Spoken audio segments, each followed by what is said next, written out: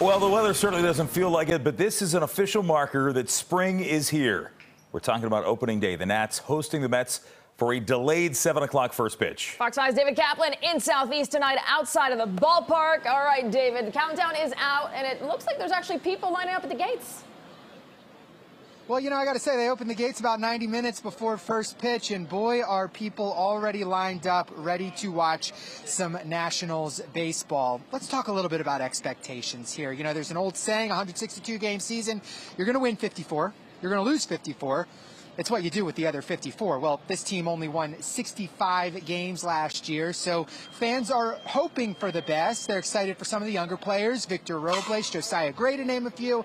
Excited about some of the older guys, the veterans brought in, Sean Doolittle, Steve Cishek in the bullpen, as well as Nelson Cruz to play DH. Yes, I said DH. It's here at an NL ballpark for the first time this season. But the one name that we keep hearing over and over again are people very, very excited to watch Juan Soto play baseball.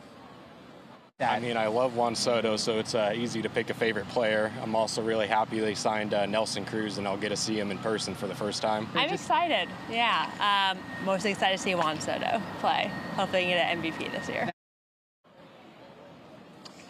We will see about that. Now we got to talk a little bit about Max Scherzer. He is on the Mets, the very Mets that the Nats are opening the season against. However, Scherzer expected to take the bump tomorrow night here at Nats Park. Seen a few Scherzer Nationals jerseys around here, so certainly some people will be excited to see him back when he does take the mound tomorrow.